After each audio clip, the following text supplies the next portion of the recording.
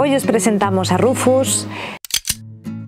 Es un macho setter de color blanco y canela y entró en Perrera el 19 de agosto.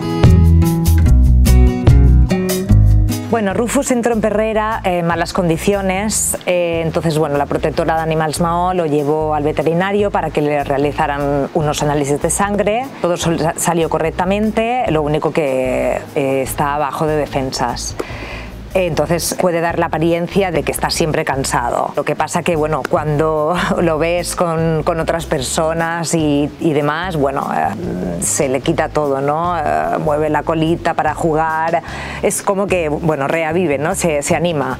Entonces te reclama caricias, mimos, bueno, de todo. ¿Qué necesitamos para Rufus? Pues eh, una adopción, pero sobre todo una casa de acogida urgente, pues bueno, ya que es un perro senior. ¿No creéis que no se merece pasar los últimos días de su vida en Perrera?